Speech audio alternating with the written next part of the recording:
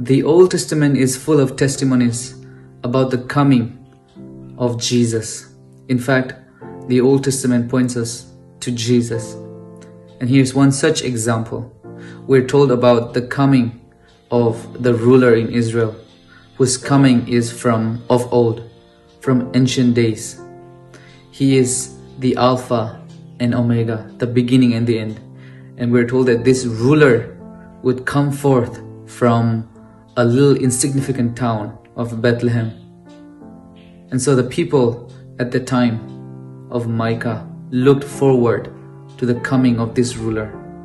But as for us living today, we look back with gratitude at the fulfillment of this prophecy in Jesus Christ, who is the Alpha and Omega, who became human being to make a way for us to live with him, our King, our ruler.